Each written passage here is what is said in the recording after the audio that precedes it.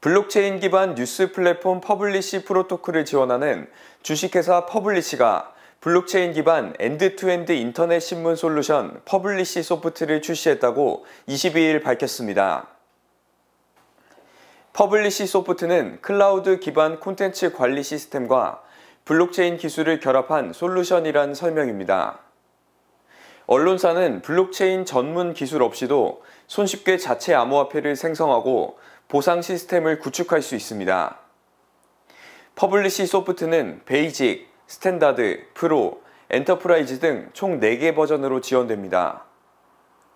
pro와 enterprise 버전에서 퍼블리시 프로토콜 기반 자체 토큰 발행이 가능합니다. 자체 토큰은 플랫폼 개발 자금 유치와 이용자 참여 보상을 위한 새로운 방안을 마련해 줍니다.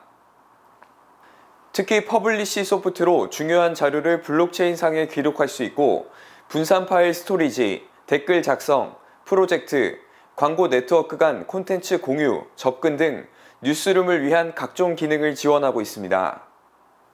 권성민 퍼블리시 대표는 블록체인 기술이 언론 산업을 변화시키고 업계가 마주한 문제를 해결하고자 한다며 퍼블리시 소프트는 앞으로 블록체인이 구현할 언론 생태계의 디지털 혁신은 물론 토큰화의 길을 열어줄 것이라고 강조했습니다.